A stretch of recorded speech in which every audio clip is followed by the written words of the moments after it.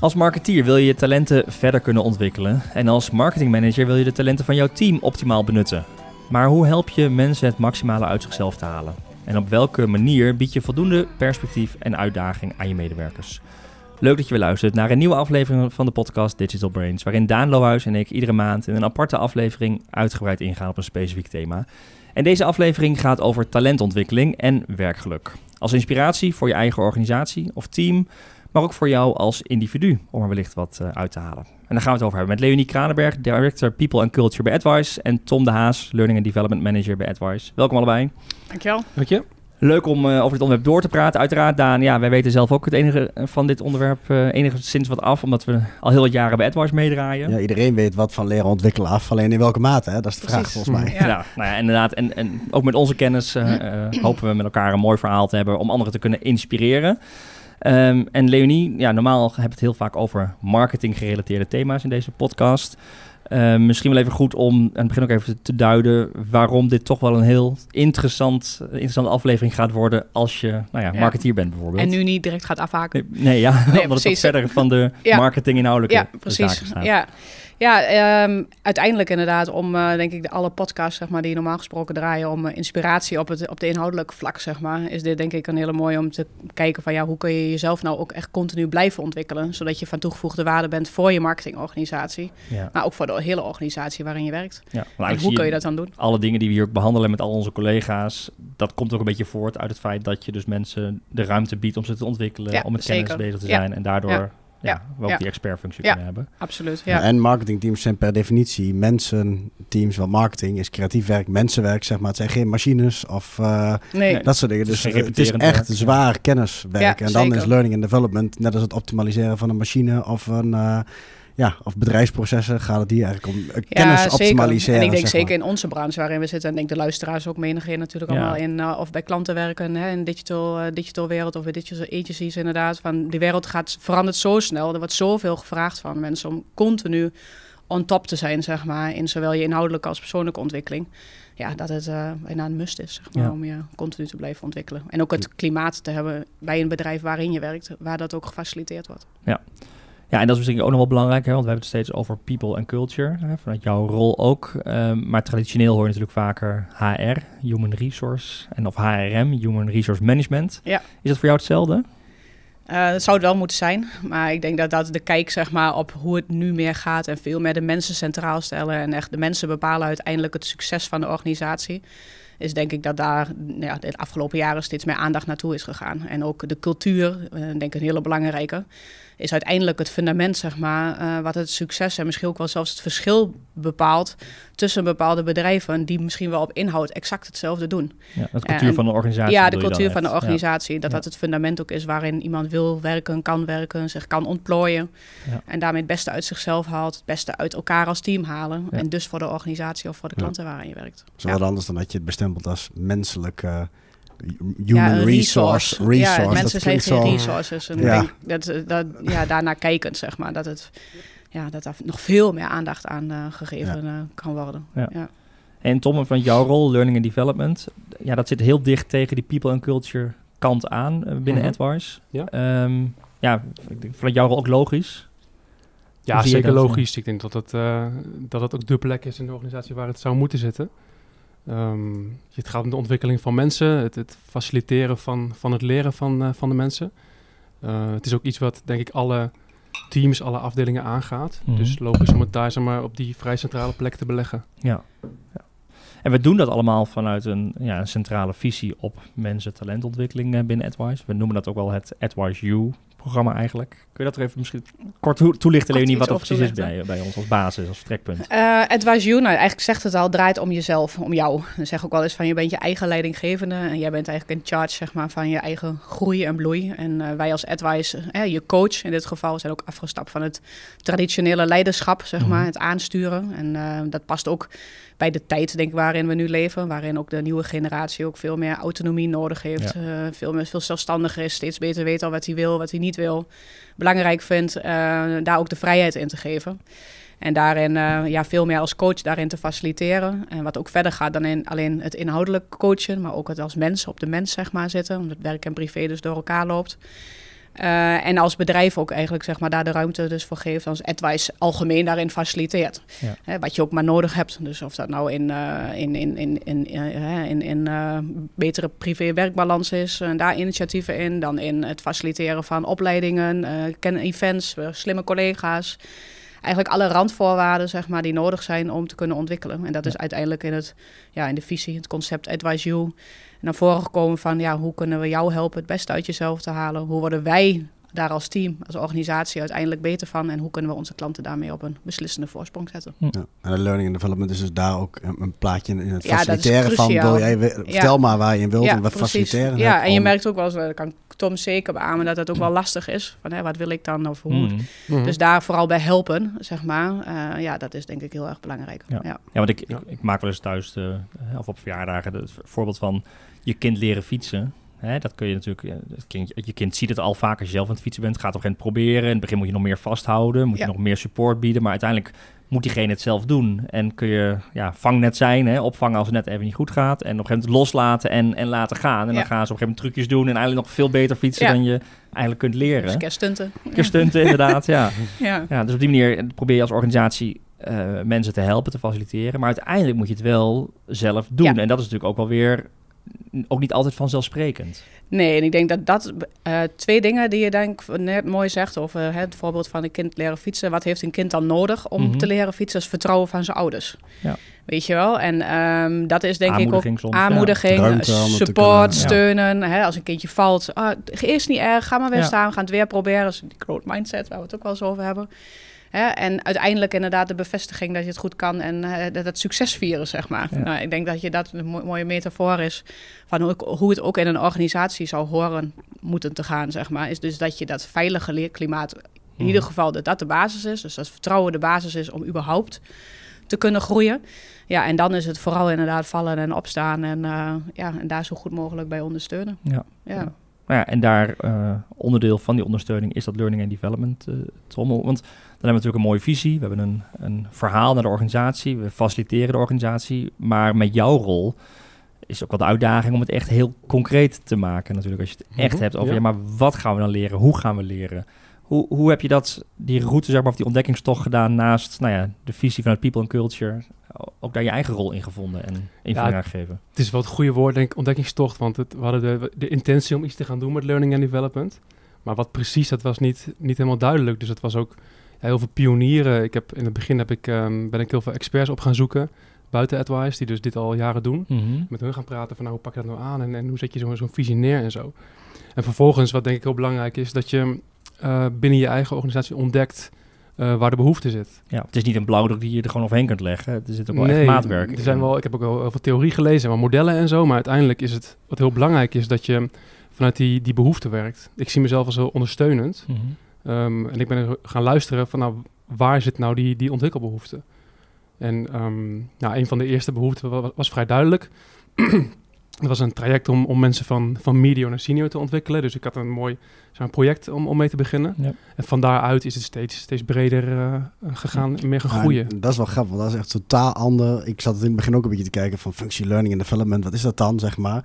Maar het is echt een verschil tussen een bedrijf wat intern vaak wel trainingen aanbiedt. Of als je wat wil, ja, dan mag je van opleiding gaan volgen of zo. Op eigen initiatief. Of je hebt een keer een intern workshopje mhm. inderdaad. Maar dit is echt veel meer op leerpaden ook gebaseerd. En doelgericht. En ook dat stukje behoefte ook van wat, wat willen. Dus wat, wat is, waar zitten wat structurele van een groep mensen die ook echt wat maatwerk uh, uh, kan bieden. Of maatwerk, ja. Ja, dat niet per Het is niet per se maatwerk, maar het is niet zo van hier heb je een paar trainingen, uh, succes, zeg maar. Nee. Klopt. Het is echt een veel doelgerichter, veel effectiever. Ja, je ziet heel vaak wel dat L&D wordt ingezet als het, zeg maar, op afroep inkopen van opleidingen. Ja. Dus weet je, er is ergens een probleem. Uh, de mensen aan een lopende band te maken te veel fouten. Dus ze moeten naar een training en dan wordt ze geleerd hoe ze dan uh, minder fouten maken. Maar dat is dan, ja, dat werkt niet, of dat werkt eventjes. Zo'n los. Maar, ja, het is meer te los krijg je nou vaak. Een training met ja. Uh, een beetje beter met elkaar communiceren. Nou, hartstikke mooi. Precies. Bureau ingehuurd. Zo, nu... Uh, Mogen wij of dat worden van de dag. Ja, ja. ja. kunnen we vinkjes zetten. wel anders. En, uh, en, en weer verder. En wat ik met Leonie samen probeer is om, om daar ook echt structuur in aan te brengen. Dus ook te zorgen dat mensen zeg maar, periodiek nadenken over hun leerdoelen. Dat ze een zelfanalyse maken van wat kan ik goed en, en, en wat zijn mijn valkuilen. En aan de hand daarvan met de coach samen uh, die ontwikkeling uh, vormgeven. Ja. Maar je noemde het even als voorbeeld, uh, jouw eerste opdracht was ja, een soort route van medior naar senior. Ja ik denk dat dat al voor heel veel organisaties een behoorlijk grote stap is. Want vaak is er geen route, is er geen duidelijkheid. Of ben je gewoon na vijf jaar krijg je een stempel ja, senior. ervaring. Mhm. ervaring, als je ja. Je, kunt wat dingen, dan, uh, nou, dan is dus, het... Uh, maar, maar ook het feit dat wij dus uh, blijkbaar ook andere... Ja, bijna een senior level een andere dimensie vinden. Andere dingen van mensen verwachten. Is natuurlijk al een heel ander soort kijk dan alleen maar... Ja, je hebt een jaar extra ervaring. Ja, klopt. Dus je moest ook uitzoeken wat nou het verschil is tussen een media en een senior. Ja, en welke moet je ontwikkelen. Dat was ook veruit de moeilijkste stap in het hele proces, denk ik. En uh, daar heb ik ook verschillende mensen bij betrokken. Ik, ik, kan me nog een brainstorm met de directie herinneren. Dat we hebben gehad over wat is nou eigenlijk een, een senior en wat onderscheidt de senior van de medior. Mm En dan ga je vervolgens automatisch ga je dan denken in, in modules. Hè. Dus we, gaan, we maken een module uh, salesvaardigheden en een module uh, gespreksvaardigheden, dat soort dingen. Maar toen kwamen we er eigenlijk achter dat je dus, als je bedenkt wie dan bij onze seniors zijn, uh, dat, je, dat je die in momenten herkent. Dus hebben we ook gezegd van ja, je, je, herkent gewoon als je met, met een senior naar een klantgesprek gaat, dan voel je gewoon, herken je gewoon dat je met een senior op pad bent. Ja. En wat zijn dan dus de, de elementen die maken dat je dat herkent? Die hebben we ontleed. Uh, en die momenten hebben we ook, uh, zeg maar, trainbaar gemaakt. Mm -hmm. En dat is het traject geworden. Ja. Dus een van die momenten is het klantgesprek. En uh, dat, dat, wat ik heel mooi vind, is dat we ook de keuze hebben gemaakt om die momenten trainbaar te maken door de advisor die daar heel goed in is. Ja, je eigen trainers. Ja, je eigen, je eigen, eigen zeg maar, je eigen collega's waar je tegenop kijkt op dat gebied. Ja. En je weet ook wel, als je een onderwerp noemt, uh, dan, dan, weten wij wel, dan weet je over het algemeen wie daarbij hoort. Nou, Jeroen, jij zelf hebt met goed in time management. Dus als ik zeg hm. time management, dan willen mensen van jou wel leren hoe je hm. dat uh, onder de knie krijgt. Dus um, ja, zo is dat traject is, uh, heeft vorm gekregen. Ja. ja, en wat ik wel mooi vind is ook van, uh, dat we die mensen dus uit de organisatie hebben gevraagd, die seniors die dus goed zijn op die key moments. Hè, maar dat er ook eigenlijk in de organisatie werd gezegd, vooral ook door mensen zeg maar die hè, de afgelopen vijf jaar zijn binnengekomen, die ook wat uh, minder bijvoorbeeld al hebben samengewerkt met de seniors, hè, of directie vaak was dat toen nog, mm. die toen ook in salesfuncties of accountfunctie mm -hmm. of dat soort dingen. Um, niet, niet door zijn ingewerkt, maar weer door die volgende groep, weet je wel. En dat ze eigenlijk allemaal zeggen, ik ben zo benieuwd wel eens van... Hè, uh, Gijs of uh, Jip ja. of wie dan ook, directie in ieder geval, die heeft ook nog zoveel te brengen. En hè, mooi dat dat op deze manier dan gefaciliteerd wordt, ja. waardoor je een zo'n training, denk ik ook als time management, zeg maar, wat jij dan hebt gegeven, Jeroen, die kun je misschien nog wel nog beter maken, doordat je ook heel goed je hebt verdiept, zeg maar, in de organisatie waarin diegene werkt, waardoor de het effect, zeg maar, de, hè, de meerwaarde ja. van zo'n training misschien nog wel meer is dan sec een training die je dan zou inkopen, die misschien wat algemener is en ook heel goed. Ik bedoel, er zijn mensen die mm -hmm. ook al tig jaar in het vak zitten en dat heel goed kunnen. Nee, maar een klantgesprek maar, ook als voorbeeld, of grip op je week uh, bijvoorbeeld, dat is anders in de setting die wij hier hebben ja. dan standaard voor elke organisatie. Uh, en, en, en dat, is, dat is niks te nadelen van, maar wij voeren met een bepaald type klanten klantgesprekken. En dat over bepaalde vraagstukken. En mm -hmm. niet over een advertentie in de krant of, om dat te verkopen bijvoorbeeld. Nee. Hè? Dus je wilt andere technieken gebruiken die ja. wij heel goed kennen over het algemeen. Ja, dus je kunt eigenlijk al die kennis die er al is, die kun je dan ook gewoon in de organisatie verder verspreiden. Ja, ja. ja dus dan maak je echt ook een interne opleidingsprogramma met eigen mensen. Ja. Waarin inderdaad die, die, ja, dat die echt, ja, in plaats van dat je alles maar inkoopt of trainingen. Uh, ja. Die keuze moesten we maken van gaan we externe trainers dan inhuren en die een beetje advice maken. Ja. Want wat heb je vaak als je externe trainers inhuurt? Dat mensen zeggen van ja, was een leuke training, maar wel een tikje theoretisch. En bij ons gaat het toch wat anders. Ja. Oftewel, die training die was jammer van, van de tijd. Ja. En of, of gaan we, dus keus 2, gaan we advisors een trainer maken. Ja. En voor dat laatste hebben we, hebben we gekozen. Natuurlijk zijn onze mensen niet um, uh, 100% de beste trainers, maar wel meer dan goed genoeg voor de fase. Ja, ja. en wat jij net zegt, ja. Jeroen, ook dat stukje maatwerk wat je erin hebt, doordat je de eigen context, eigen cases, uh, echte situaties, dat ja. ja dat outweight op een gegeven moment die, dat stukje theorie misschien 10% beter is van iemand ja, die precies, dat de hele dag vertelt. Ja. en als je het hebt weer over ontwikkelen, ook ik ontwikkel mij weer naar een ander level of andere skills, omdat ik in één keer een trainer ben en ik ga die herhaal die training. Ja. ja, dus je wordt in één keer nee, je wordt in één keer zelf een trainer, een heel andere klopt. rol waar je ook en, kunt groeien. Uh, denk ook als je dat binnen de organisatie houdt, cultuur toch? Want ja, ik denk dat je ja. dat met elkaar ook, ook dat soort cases en dat doet wel wat als je dat mm -hmm. met elkaar Ja, dat doet wel leert. wat met elkaar. Ja, zeker. Ik heb zelf ook die ervaring als trainer nu. en uh, ja, dat doet ook iets met dat zo'n groep dat samen kan doen. Weet je wel, dat die mensen dat samen doen binnen Advice, dat ze er direct mee kunnen ja, werken en ik denk dat dat ook wel iets is voor mensen die luisteren, ofwel de marketeers, of dan wel de mensen die werken aan de marketingorganisatie. Van ja, ik denk dat we misschien met elkaar niet half beseffen hoeveel kennis er ook in organisaties is. En benut dat, benut dat alsjeblieft. Dus zet nu maar pauze en ga eens nadenken van dit verhaal. Ik zou hoe bijna zeggen, zet je... me stil en ga nadenken inderdaad. Denk eens na, hoe kun je zoiets faciliteren of zo'n proces op gang zetten. Ja. Zeg maar. ja, we zeggen het ook eh, vaak van, we willen als je naar een klant gaat, dat je die kennis van 100 advisors in je rugzak meeneemt. Ja. Dus die trainingen zijn een manier om dat te, te faciliteren. Ja, precies. En wat jij zegt, dat geldt voor elke organisatie. Ja, ja dat is wel. En elke organisatie heeft ook een beetje die paden van als je dat wil weten, moet je bij die zijn. Als je dat wil weten, moet je bij die zijn. Dus dat, dat zit al een beetje wandelende encyclopedie. Ja, dus die benut dat juist uh, in de organisatie. Ja. Ja, dus dat is ook echt wel een waardevolle tip voor, uh, hè, voor de mensen ja, je, uh, die luisteren. Er is zoveel kennis in je organisatie. Ga zorgen dat je die ook bij meer mensen onder de aandacht krijgt. Ja, ja, ja, ja. Doet wat met de verbondenheid, doet wat met het kennen van elkaar. Het, ja. het heeft nog veel meer effect dan... Het verbindt heel erg, ja. ja, ja. dat is uh, waar we het net over hadden, nog tijdens lunch toevallig Tom in het voorbespreking hiervan. Dat, het, dat, dat ik zei van, eerst wist je niet wat learning and development betekende, zeg maar nu zou je het zo in een organogrammetje ergens tekenen. Dat ook net als een marketingfunctie of een financiële functie. dat je zegt van, ja, uh, het learning and development balletje is heel logisch in een organisatie van hoe verspreid je uh, kennis en skills in een organisatie en zorg je dat echt zelflerend wordt. Dat het niet iets was wat maar gewoon ergens automatisch gebeurt doordat mensen met elkaar werken, maar dat het een expliciet iets is. En... Ja, hoe faciliteer je het leren? Dat is hoe ik mijn, hoe mijn functie zie. We gaan ervan uit dat mensen willen leren, maar dat ze het ook wel eens moeilijk vinden van hmm. hè, wat ga ik dan doen en wat is mijn leerdoel en welk middel. En daar probeer ik bij te helpen. Prioriteit, inderdaad. Ja. En hoe is dan de balans tussen, zeg maar, we kijken naar het individu. Hè? Advice You gaat heel erg over, je bent zelf je leidinggevende. Anderzijds heb je natuurlijk wel, je kunt niet voor ieder individu een training ontwikkelen, uh, bijvoorbeeld. Dus hoe mhm. kijk je dan naar een soort van groepsbelang versus het individuele belang, uh, Tom? Uh, nou, dat is een leuke vraag. Um, nou, we zijn nu met een visie bezig. Dat is misschien wel leuk om te beantwoorden. En waar we nu op uitkomen is, is een model. En dat is de, de meaning of me. Mhm. Waarin je dus de me, en jijzelf centraal staat. Uh, cirkels die om elkaar heen vallen, zeg maar. Ja. Uh, de, de, de cirkel daaromheen is de he of de, de she, hè, in relatie tot je team. En de we is het bedrijf als, als geheel. Ja. Maar in die visie is het wel heel bewust de, de me centraal. Het begint met jezelf. Wie ben je? Wat kun je en wat wil je? En uh, als je dat helder hebt, hoe sta je nou vervolgens uh, in relatie tot, tot je team? Dus hoe kan je team je daarbij helpen en hoe kan jij jouw team daarbij helpen? Mm -hmm. En hoe treed je dan naar de derde cirkel toe uh, samen, samen ja. op?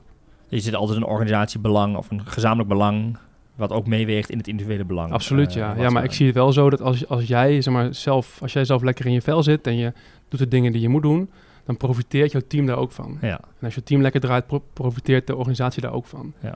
Dus, maar het is natuurlijk, het werkt twee kanten op. Uh, want je wil als organisatie ook natuurlijk dat de mensen op de juiste plek zitten en de juiste dingen doen. Maar het begint wel heel erg, vind ik, met, ja, met jezelf. Ja. ja, en wat ik uh, misschien ook wel daarop aanhaak, dat, dat wij dus ook de trainingen op een soort open inschrijving beschikbaar maken. Dus we mm -hmm. faciliteren het voor het geheel, maar je kunt toch als individu kiezen om ergens aan deel te nemen als ja. dat met jouw behoefte is. Hè? Het is niet opgelegd of je nee. moet het, je kunt je gewoon inschrijven. Plus, met ook een reden om die trainingen samen te doen, is mensen leren ook van elkaar. Ja. Dus je zou natuurlijk kunnen zeggen van, um, ik wil alles op maat en ik kies zelf wanneer ik welke training, welk deel volg. Dat zijn we mee bezig, kan ook, kan ook als het goed is binnenkort.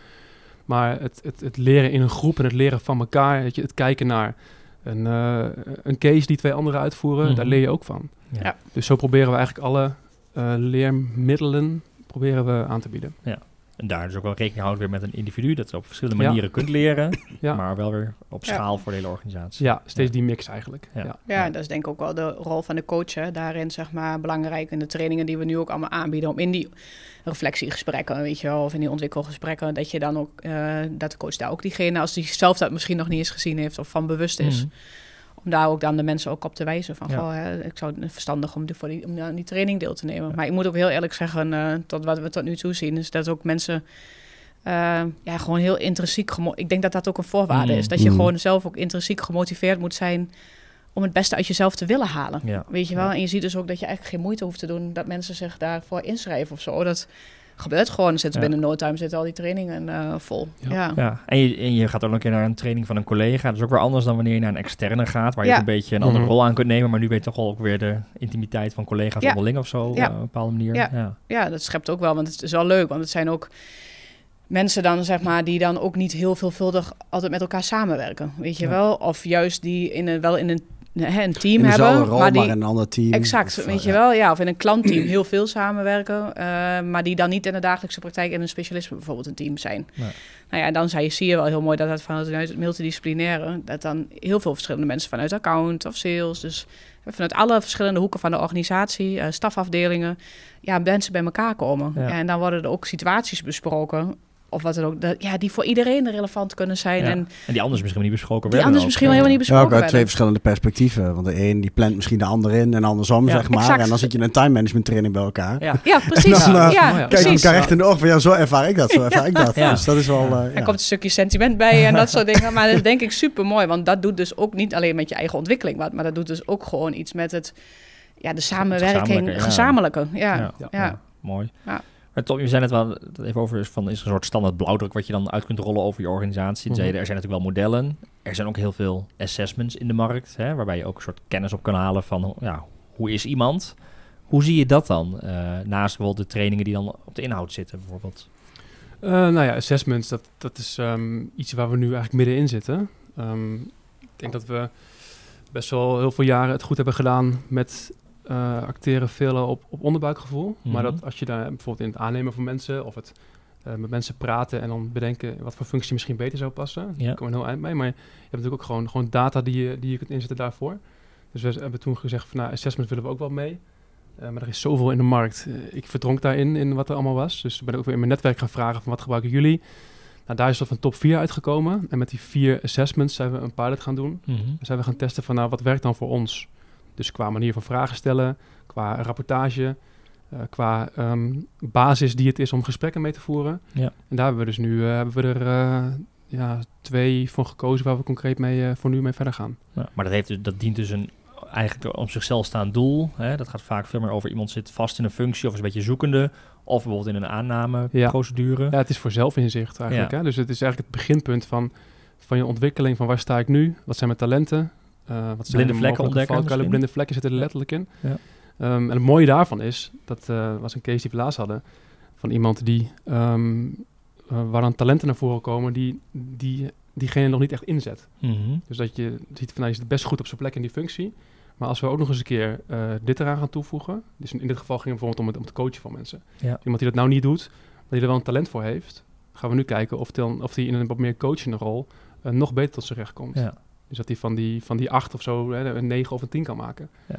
En waar je ook als organisatie van profiteert, want je hebt eigenlijk weer iemand bij met de coachende vaardigheden. Ja, zeker. Ja. Dus dat zijn dingen waar die assessment ons heel erg in kunnen, uh, kunnen helpen. Ja. Ik ben wel benieuwd, Daan, want nou ja, wij lopen allebei heel wat jaren mee binnen AdWise. We hebben het over talentontwikkeling, maar voel jij dat zelf zo bijvoorbeeld als je kijkt naar je eigen ontwikkeling binnen, binnen AdWise? Zeg je dan, dan, is, dan staat met talent centraal of, ja, of, weet je, nou of doe je gewoon je ding, hè? Dat is natuurlijk een beetje de misschien wel ja, de discussie. Ja, hoe zie jij dat? Nou, het helpt als je het expliciet maakt, zoals Tom zegt, denk ik. Uh, dat is wel een mooi bruggetje. Uh, anders ga je niet stilstaan, dan overkomt het je als het ware. Mhm. um, als er een bepaalde intentie achter zit, dat je met mhm. elkaar hebt afgesproken, hey, deze vlakken zijn belangrijk, zeg maar. Uh, dan, en je hebt een gezamenlijke taal erin, in de vorm van assessment of een bepaald uh, raamwerk om erover te praten. Dan kun je veel sneller en effectiever ja. tot een soort gerichte keuzes komen van wat ga ik een trainer ontwikkelen. En natuurlijk, uh, ja, ik denk goede mensen overkomt ontwikkeling automatisch. Want ja. het, je komt in situaties terecht, je leert ervan, zeg maar. Mm-hmm. En soms komt het ook helemaal goed en gaat dat vanzelf de juiste de kant op, zeg maar, die je wil. En kijk je achteraf terug, denk je, nou, mooi dat me dat allemaal is overkomen, zeg maar. Toch een beetje zo, ook... zien met, kinderen kijken. Ja, de een fiets gewoon sneller dan het andere kind. De een heeft meer steun nodig ja, en sommigen gaan met mazzel, maken ze misschien wel een soort shortcut en snappen ze niet hoe ze moeten fietsen en gaan ze er als een gek van door. Maar soms als je daar wat meer intentie en richting achter geeft, zeg maar inderdaad, kun je soms bewustere keuzes maken die uiteindelijk je naar een veel mooier punt brengen. Hm. En ik denk dat dat eh, een beetje... je als je dat... het, woord, het woord bewust en, en nu ik er zo over nadenk, is dat eigenlijk wel wat er bij de cases die ik van dichtbij meemaak gebeurt. Dat mensen zich veel bewuster worden van wie ben ik eigenlijk en waar ben ik goed in. Ja. Nou, Leonie geeft met Sanne Fleur samen de training zelfbewustzijn daar zie je dat in, in gebeuren. Dat, hmm. dat mensen veel bewuster worden van waarom heb ik eigenlijk bepaalde keuzes in mijn leven gemaakt? En wie, wie ben ik? Hoe zie ik mezelf? Hoe zien anderen mij? Wat geeft je echt energie? En wat, waar wil je dan meer van? En, dan ga je daarin gericht opleiden. dat is wat jij volgens mij ook wel zegt. Van, uh, je gaat misschien iets bewuster kijken naar waarom je doet wat je doet en, en wat je leuk vindt, waar je goed in bent. En stap 1 is er überhaupt bij stilstaan, zeg maar. En daar ben je ook wel van, van een jaarplan maken hmm. of een keer een kwartaal terugkijken, zeg maar. Dat is, dat is één ding, maar dat je daar een raamwerk in hebt waarin en gefaciliteerd wordt dat je ook kunt zeggen: hé hey, ja, maar ik wil graag een senior worden. En je hebt een keer handvaten daarvoor. In plaats van dat je wacht tot het je overkomt en zelf maar eens gaat bedenken: hoe ga ik dat voor elkaar krijgen? Maar de organisatie helpt mee, er is een leerprogramma voor. Ja, dan gaat het veel sneller en effectiever. Ja, en mensen ontdekken ook, wat je zegt, ik wil senior worden, is natuurlijk heel lang. Of als je niet goed nadenkt, denk je van ja, dat is mijn enige, mijn enige pad, mijn enige mhm. toekomst eigenlijk. En door nu bewuster bezig te gaan met wie ben je, wat kun je, zie je dat ook andere paden zijn. En, en, dat je dus ook niet altijd per se die, nee, die lijn ja, schuin rechts omhoog hoeft te volgen, maar dat je ook... Uh, uh, het eerder gaat niet over dat carrière ladder versus een carrière of klimmuur of zo. Hè? Ja, versus die ladder. Dat, je niet, dat het niet altijd is van dat een... Hè, dat een soort van junior, media, senior en dan vervolgens naar een leidinggevende positie. Of weet je, dat dat dan de enige weg is, zeg maar, zo ongeveer. En, het, feit dat ik trainingen geef en daar andere mensen mee kan helpen, geeft heel veel voldoening. Ja. Is, is, is nou, niet per se een hoger op de ladder, maar is in de breedte ben ik nog meer waard voor de organisatie. Ja, zeker. En dat heeft ook deels te maken, denk ik, met jezelf, dus hè, met je persoonlijke ontwikkeling. Van wat, wat is, is, is, is, is iets wat je misschien wel meekrijgt dat ook. Uh, dat de status wordt uh, ontleend zeg maar, aan een senior of een leidinggevende positie. Wat ook ja, vroeger ook nog wel eens zo ging dat het dan pas goed genoeg, traditioneel, weet je wel. Maar uiteindelijk gaat het er ook natuurlijk gewoon om van, ja, waar word je nou gewoon blij van? Ja, maar dat is ook met jou, Jeroen, toch? Trainingen geven bijvoorbeeld, is wel iets wat je energie geeft, wat je leuk Ja, dus niet per se dat je daar senior van wordt, of dat je daardoor een, nieuwe leidinggevende ja, dat je waardevol bent voor collega's en dat mensen een paar weken later terugkomen en zeggen, je hebt me zo geholpen. En, dat je die impact kunt hebben met elkaar, dat is denk ik, ja, dat is bijna nog meer dan per se een, titeltje of een senior. Hè? Ik bedoel, dat, dat, dan heb je het gevoel dat je waardevol bent voor elkaar. En ja, ontwikkelt je ook, een andere, andere skill. Training geven is wel een vak. Dus het is voor mij iedere keer echt, oh, of iedere keer, inmiddels wat minder, maar uit je comfortzone. Ja. Training geven is echt een vak apart, dus dat moet je ook weer eigen maken. En ja, nou ja, nou dat, ik heb het nu twee keer gedaan, maar de eerste keer, nou, ik kan je wel vertellen. ik heb er echt wel, uh, nou ja, een beetje spannend. S'nachts wel eens over gedroomd, zeg maar. Van, weet je, je wil het graag goed doen en je denkt van, ja, je bent toch zelf de trainer, dus mensen kijken naar jou. Je bent een voorbeeld, weet je wel, en je gaat het voor het eerst doen. Nou ja, dat is, en dat is iets heel anders. En dan ook nog eens een keer uit de Director People and Culture uh, pet, zeg maar. Waar ik ook heel, heel, toen ook zei, ik zit hier als trainer, niet als Director People of Culture, weet je wel. Af, pet af, pet op. Pet ja. Weet je wel, maar dat je dan iets dat mag gaan brengen naar de mensen, is eigenlijk gewoon, ja, is gewoon super mooi. En ik moet heel eerlijk zeggen, ik, de, we zijn afgelopen vorige week maandag weer begonnen met de volgende groep. Dat geeft zoveel voldoening en mm. zoveel energie dat je dus gewoon naast je werk ja hè, helemaal niet in mijn rol. Nee. Maar dat gewoon erbij kunt doen. En dat, ja, dat vind ik prachtig. Ja, en de podcast is ook een voorbeeld van. Bijvoorbeeld ja, hè? Dat is ook iets van, ja. Ja. En wat is leuker om gewoon inderdaad één keer de zoveel tijd in de stil te staan en dan inderdaad een klimband te zien in plaats van die ladder. Dat je op die tray staat te wachten, denkt uh, in zo'n soort, ja, van uh, de enige stap. welk stapje kan ik maken en continu daarna kijkt, zeg maar. Ja, misschien dus, ook wel dat je denkt, hè, in de organisatie kan ik me ook best wel voorstellen uh, ja, dat dan bijvoorbeeld uh, ook bepaalde grote misschien, hè, waar, waar, waar wat minder hm. grote organisaties, wat minder misschien doorgroeimogelijkheden ook zijn.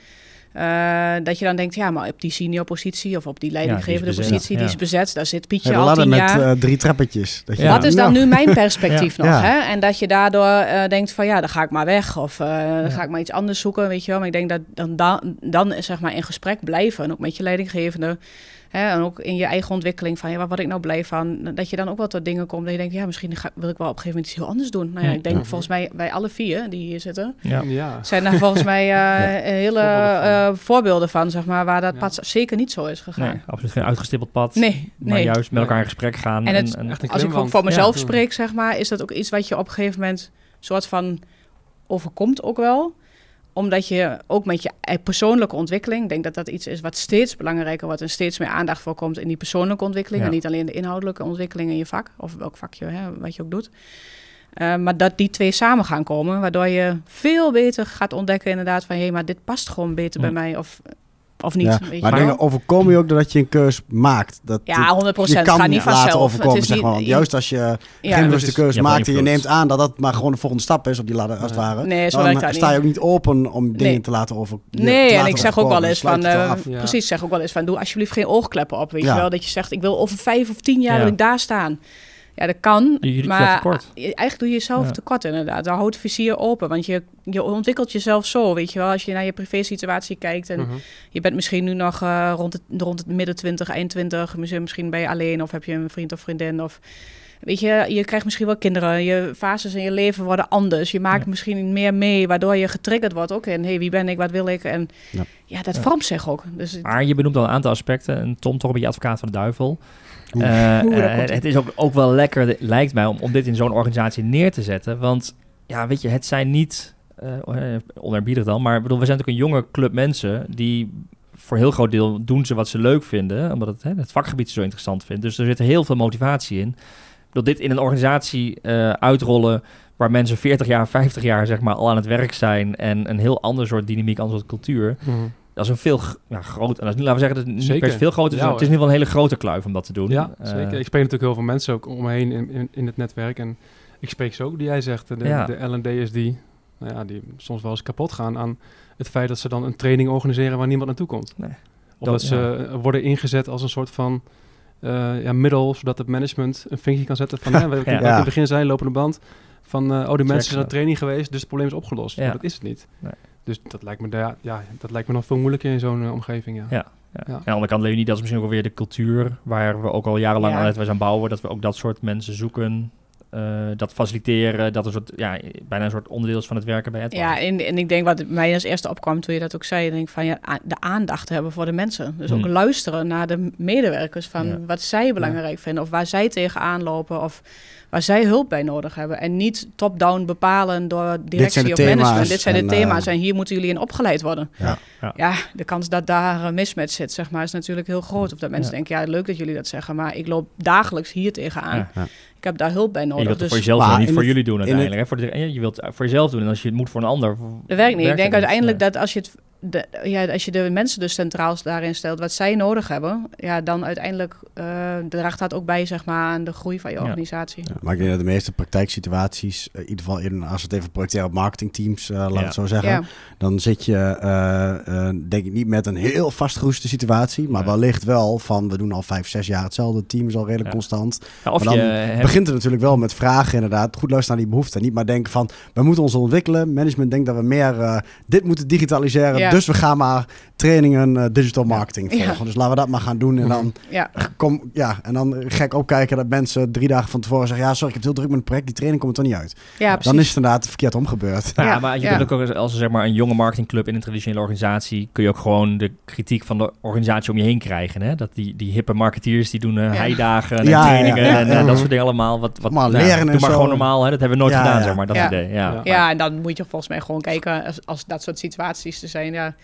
denk dat het een utopie is om te denken dat je als marketeer dan of als afdeling dan de hele organisatie kunt veranderen. Dan moet je gewoon misschien maar dan moet je gewoon zelf gewoon kijken inderdaad van wat kan ik binnen mijn cirkel van invloed zelf doen, uh, wat kan ik met mijn leidinggever, met mijn team doen en hoe kunnen we dan het beste uit onszelf halen. Ja, geduld. ook prima, geduld soms hebben. Want ja, uh, als je, ik ken deze situaties komen ook veel voor in internationale organisaties. Ja. Denk ik waar je zegt van goh, we hebben een beetje centraal decentraal zeg maar, waar op een gegeven moment ook digital echt iets is wat snel gaat ontwikkelen met organisaties die traditionele zijn. In, in, het ene land loopt het minder hard dan het andere. Waar ook uitdagingen zijn om collega's gaan mee te krijgen. Ook in, uh, ja, in, de, in, de, in de skills of ook ontwikkelgebieden die op digitaal worden. Zeker. Of verandermanagement ja. uiteindelijk ook wel met dit ja. soort. Ja, ja, en daar zit dat L&D ook denk ik wel een stuk dat cultuur daar ook gewoon de, zo essentieel in Maar ook mensen meekrijgen inderdaad. En, en, of meekrijgen is misschien dus niet het juiste woord. Vragen van wat wil je dan zelf?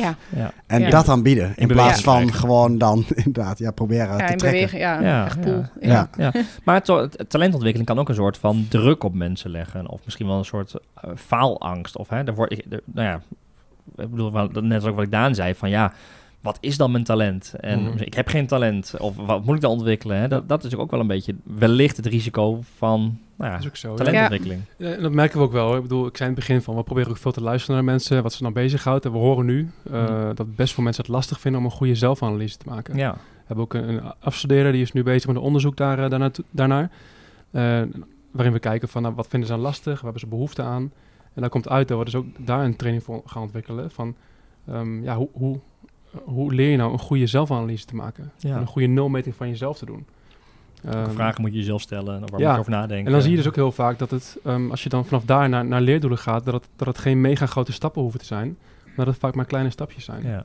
Ja. ik sprak dan uh, Ja, ze maakt in ons hoofd misschien groter. Heel groot, ja. ja, Een collega die, die zegt van ja, ik wil graag gewoon een jaar uh, lekker werken eigenlijk. Ja. Nou, en en dan, dan voor het leuk, dan ga ik vragen van wat is dan lekker werken voor jou? Nou, dan stel ik dan wat meer van dit soort werk aan gaan doen. Nou, wat is dan dit soort werk? Nou, dan kom je daarop en dan schets je een plaatje. Dan zegt hij eigenlijk van dat zijn rol 10, 15 procent anders zou moeten zijn. Nou, dan worden zijn leerdoelen in Q1 of in Q2 dat hij dus gaat bepalen hoe hij zijn rol meer die kant op meer krijgt. Die kant op krijgt. dus dan zie je hoe klein leerdoelen kunnen zijn. Ja. Dat het misschien in zijn hoofd wel heel groot was. Ja, ja en inderdaad. En als, als je het wel voor elkaar krijgt, is de impact waarschijnlijk in je werkgeluk. Ja, dus het zou heel groot kunnen zijn. Ja. En, en, voor het team dus ook. Want waarschijnlijk hebben ze iemand ervoor terug die uh, nog veel uh, lekkerder op zijn plek zit. Nog voor harder kan gaan misschien wel. Dus ja, iedereen Ja, en wat jij ook zegt, als je het zo klein maakt dan is het ook heel leuk, dan uh, het effect daarvan, de vooruitgang. Dan boek je ook echt vooruitgang. Dus je maakt het heel klein, waardoor de, het succes er ook eerder is. En dat geeft natuurlijk heel veel... Klein en tastbaar maakt Klein en tastbaar. En dat geeft heel veel voldoening. Mijn eigen zelfanalyse van... Uh, Lekker afvinken. To-do-lijstjes. Dan komt het time management ding ja, ja, ja. maar je kunt het doel halen, dat is ook fijn. Ja. waar ik zelf het meest, het meest aan gehad heb, en ik een jaar of vijf geleden, is om, om, ja, klinkt heel stom, maar een soort van energiedagboekje bij te houden. En dan op het niveau van 10, 15 minuten aan te geven wat ben ik aan het doen. Nou, ik maak nu een analyse en ik geef het, welk cijfer geef ik het? Ja. Nou, ik geef dat een, een 8 of zo. En ik heb nu heb ik een presentatie en ik geef dat een 6. dan ga je na twee weken ga je daar een lijn in zien. En dan zie je dus wat de dingen zijn die je energie hmm. geven en wat je energie kost. En daar kan al een soort van richting voor een iets andere rol uitkomen. Ja. Ja, mooi. Ja, of inderdaad met elkaar te doen. Of op een spelmanier. Dat je, dat is ook spelletjes inderdaad. Weet je, dat je gewoon in een team met elkaar de talenten van elkaar gaat ontdekken. want heel eerlijk, vaak ziet een ander heel goed van, van, je, van iemand wat zijn talenten zijn. En heb je zelf daar zo'n blind spot. Of vind je dat moeilijk te zeggen? Want je wilt graag goed zeggen of jezelf. Of je bent bang dat je niet de juiste dingen zegt. Als ik zeg dat mijn talent is, dan... dan, en dan, dat ik dan denk, ja, echt? Oh, nooit bij je gezien. Zo'n stilte. Die brabbelende oh, hoofd oh, oh, de tijd. Ja, dat heb ik nog niet gezien. Gewoon dom praten. ja. Ja. Uh, we hebben in voorbereiding, Tom, had je nog een analogie met uh, voetbal? Zo van, alleen maar. Ja. ja, ja, dat is bij jou natuurlijk sowieso als je het talent hebt. Nee, maar daar zie je, het, daar is het bijvoorbeeld ook heel normaal om over talentontwikkeling en training te hebben. Maar dat heeft ook een soort aantrekkingskracht. Ja, ja, Hoe zie je dat? Ja, nee, als je dan kijkt, ik heb ook in het begin wel gekeken van ik ga het dan doen binnen AdWise en hoeveel ik dan dat, uh, dat we bekend staan. Um, ik zou het heel mooi vinden als wij bekend komen te staan als, uh, als de plek om jezelf te ontwikkelen op digitaal gebied. Mm -hmm. En dan maak je laten vergelijken met voetbal. Uh, je ziet wel als voetballers die dan, die kunnen dan naar iedere club in de wereld, hè, de grote talenten zeg maar. Ja. En die kiezen dan heel vaak voor een plek waar ze uiteraard veel geld kunnen verdienen, maar waar ook een trainer en een staf zit die hun echt beter kan maken. Ja. Waar je jezelf kunt blijven ontwikkelen. Ja, dat ze zeggen ik wil graag met, uh, met Guardiola werken, want hm. die, die maakt voor mij echt een betere voetballer. Ja. En uh, ik wil ook hier zo'n zo'n cultuur scheppen. Die is er voor een deel al. En dat nog meer, nog meer uitdragen ook. Uh, dat mensen denken, van, ja, ik wil daar naartoe, want daar word ik een betere Ja, het is echt een secundaire arbeidsvoorwaarde dat je niet alleen, uh, ja, niet alleen geld verdient, nee, maar dat je zelf ook echt beter wordt. En dat de, de, organisatie daar ook echt wat aan baat, belang... Ja, iedere organisatie belang bij de mensen zich ontwikkelen. En de mensen dus het is gewoon een belangrijk bedrijfsproces. Ik denk dat, de, dat de, de, huidige en de jongere generaties ook steeds meer kijken van waar kan ik hè, mijn tijd zinvol inzetten, waar kan ik beter worden. Ja. Natuurlijk daarnaast leuk verdienen, maar waar kan ik vooral aan mezelf werken. Ja. En daar wil ik graag dat ze, ja. dat dus als, kijken. Als je luistert naar deze podcast en je leidt een team of je bent natuurlijk nieuw, nieuwe medewerkers voor je team, is het ook niet alleen de, de salarisvoorwaarden, maar ook wat kun je nog meer bieden? Wat is de leerpotentie? Wat, Hoe kan je nog iemand laten ontwikkelen? Je concreet ook maken. En, uh, ja. Ja. ja, en ik denk zoals bij, bij ons en misschien wel meer, waar echt kennis natuurlijk, zeg maar. Kennis is ons bestaansrecht, min of meer. Ja. Kennis en innovatie, dat we ook natuurlijk al jarenlang eigenlijk talentontwikkeling gewoon in de structuur hebben verweven. Weet je wel, los voordat LND kwam, zat het al in de, in de structuur. Hè? Hmm. Hoe we natuurlijk vanuit die, al die kennis, uh, chapters als SEO, advertising, inderdaad, allemaal samenwerken, ja, dan, dat mensen gewoon structureel tijd hebben om continu binnen hun vakgebied te kunnen blijven ontwikkelen. Dus dat staat standaard al in. Maar daar is wel echt de dimensie ook persoonlijke ontwikkeling aan toe. En maar die is daar ook echt precies. Dus die, die persoonlijke ontwikkeling is denk ik wel een hele belangrijke. Ja, dat gaat hand in hand. Ja. En ook dit is weer zelfbewustzijn, hè? want je zegt denk ik terecht dat we dit ook vanaf dag één al gedaan hebben. Maar nu ook uh, veel bewuster mee bezig zijn en meer, ja, meer handen en voeten gegeven hebben en, en, processen voor gemaakt hebben en zo. Ja. En, en Leonie, dat totaalplaatje eigenlijk wat je dan biedt, dat is eigenlijk ook wat vooral voor een heel deel werkgeluk uh, creëert. Of in ieder geval meer dan alleen maar werken faciliteert. Ik denk misschien, ja, zo even denkend zeg maar, dat je inderdaad op een plek kunt zijn waar je ehm, elke dag echt ja, gewoon het beste uit jezelf mag halen. Waar je tot groei komt, waar je tot bloei komt, waar je impact kunt maken in je team, voor de klant, voor advice. Waar je gesteund wordt door collega's waar je gesteund wordt door je coach, zeg maar, gefaciliteerd wordt door die coach, de organisatie, om dat te kunnen bereiken en samen die dan die successen te vieren. Ja, volgens mij is dat dan Werkgeluk. Werkgeluk. En waar je zelf ook die autonomie, denk ik heel belangrijk, de betrokkenheid bij de organisatie, bij je team, bij elkaar, bij de klant, maar ook de autonomie ervaren om dingen naar je eigen hand te kunnen zetten, om eigen keuzes te kunnen maken. En daarin gesteund ook voelen. Ja, ik denk dat dat heel belangrijk is. Om uiteindelijk uh, met veel plezier ergens te werken. Ja, ja want je kunt wel soms zeggen, je hebt ergens veel autonomie, maar als, dat is de laatste stap die we noemen. Maar als die eerste dingen er niet zijn, dan zeg je, je mag alles doen wat je wil, maar we, hebben, we bieden ook niet wat concreets. Nee. We uitzoeken. Controleren wel alles. Ben wel vrij. Controleer wel alles. Ja, maar... Uh, nou ja, daar, daar, begint het dus weer met vertrouwen. Dus je, om, om überhaupt dat allemaal te kunnen bewerkstelligen. En dat mensen ja, plezier en geluk op hun werk ervaren, is de cultuur dus weer een belangrijk fundament en vertrouwen. Dus die psychologische veiligheid op de werkvloer, denk ik, is, is cruciaal. Zonder dat, zeg maar, ga je ook niet ontwikkelen, geloof ik. En want, weet je, mensen niet autonoom te zijn, dan ga je toch aan een cursus. Nee, en weet je, privé, nogmaals, dat speelt, ook, uh, speelt daar ook in mee, weet je wel. En, en, ook ja, aandacht voor het privéleven. Ja, 100 procent. Echt essentieel. Want op het moment, kijk, uh, je hebt allemaal wel eens met iemand wel eens gehad die gewoon privé echt niet lekker is. En ja, ja kan ik dan verwachten dat diegene uh, ook gaat ontwikkelen? Nee, ik denk ik niet. Nee.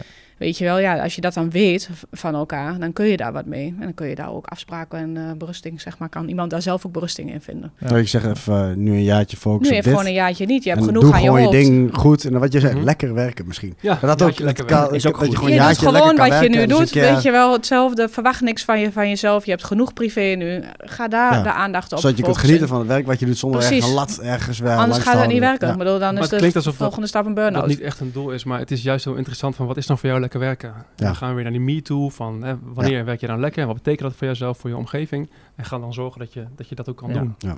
Ga je daar berichten dan ook. Ja. Mooi. Um, ja, volgens mij uh, heel veel met elkaar besproken. Ik hoop uh, inspiratie. Normaal gesproken hebben we bij onze show notes natuurlijk allemaal leuke blogjes en nieuwsartikelen die je kunt lezen. In dit geval denk ik dat we de categorie boektips uh, terecht gaan. ik kan ze je aanleveren als je... Ja, ja, ja zeker. Wat trainingsmateriaal van Tom. Ja, ja, kan ook. Ja, hoor, zeg het maar. dus heb je het eind van deze podcast gehaald en wil je nog meer van dit onderwerp uh, horen of lezen, dan zullen we in de show notes wat, wat, wat, interessante boeken, misschien wat nou YouTube-video's toevoegen om je verder te inspireren. Uh, en die show notes vind je op advice.nl slash podcast. En heb je nog tips naar aanleiding van deze podcast of uh, ideeën voor een volgende aflevering? Laat het ons dan weten via podcast.advice.nl. En wil je nieuwe afleveringen niet missen? Abonneer je dan op deze podcast in je favoriete podcast app of via Spotify of YouTube. Voor nu weer heel erg bedankt voor het luisteren en graag tot de volgende keer.